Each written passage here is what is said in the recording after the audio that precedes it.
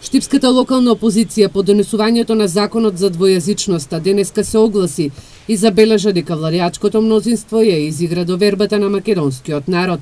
Предизборните ветувања за зачувување на унитарноста и идентитетот на македонскиот народ во Република Македонија од ден на ден се стопуваат и се претвараат во лага, велат од Обштинскиот комитет на ВМРО ДПМН во Штип.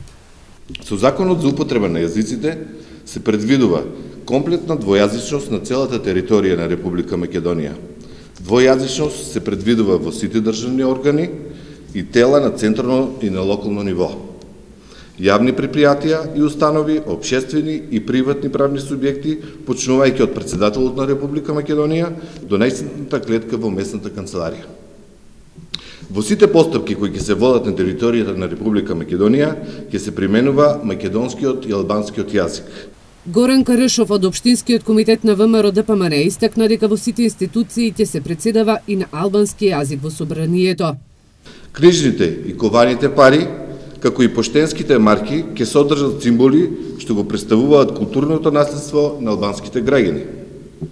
Униформите на полицијата, пожарникарството и здравството ќе бидат напишани на македонски и на албански јазик. Доколку не се спроведува овој закон, казните се од 4000 до 5000 евра.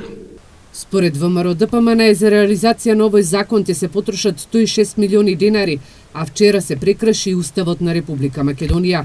Ирис телевизија се обиде да стапи во контакт со пратениците, но не одговорија на нашите телефонски повици и пораки, а на социјалните мрежи вчера и коментираа за овој закон.